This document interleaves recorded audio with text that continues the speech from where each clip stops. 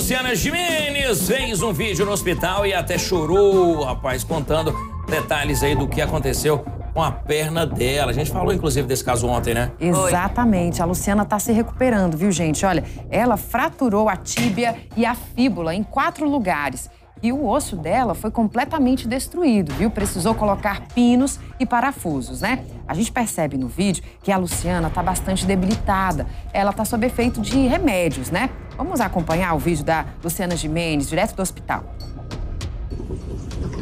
Oi, gente, sou eu.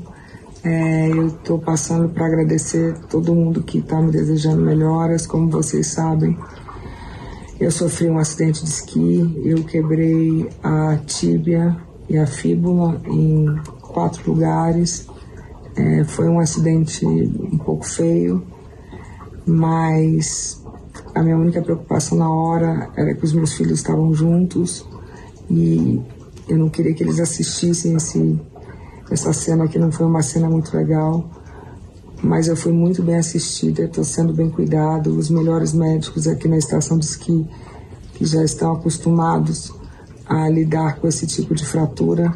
Eu não consegui falar antes porque eu estou sob efeito de bastante medicamento e esses medicamentos me deixam um pouco é, enrolada, não consigo falar direito, mas eu tenho certeza que eu vou ficar bem e que antes de mais nada eu vou poder fazer esporte de novo.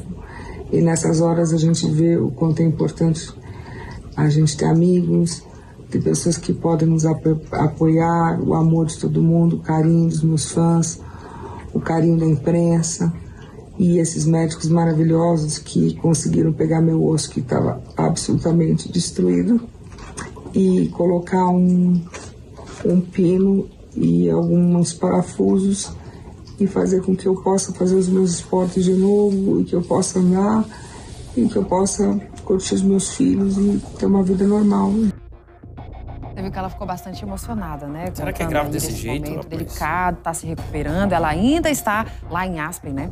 Ela foi esquiar, tá com a Foi família, grave, com né? Quatro filhos. lugares pra Foi ela. bem grave, Nick. Tomara que essa desce o mais rápido possível, tá certo?